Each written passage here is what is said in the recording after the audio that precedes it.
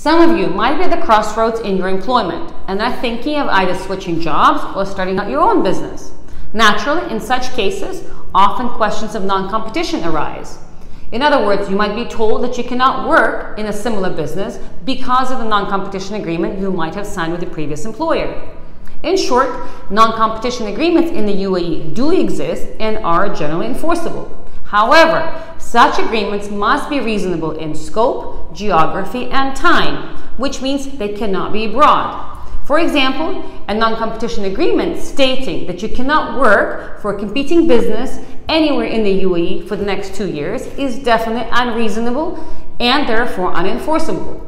In general, agreements that prevent you from working anywhere in the UAE are not enforceable either. Similarly, agreements that aim to prevent you from working in your own industry in general are also not enforceable because they are too broad.